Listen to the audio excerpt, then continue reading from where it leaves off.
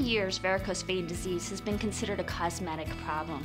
And because of that, I hear so many different ways that people have tried in the past to cover up what they think is just something that has to do with appearance. So some of those things include wearing tanning, self-tanning lotions, or putting makeup over top of their spider veins.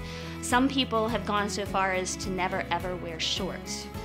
They'll wear long pants or long skirts or something that just covers it up. All of these things are things you certainly can do, although I'd never recommend tanning because it's not good for you at all. The reality is, is you don't have to do that anymore.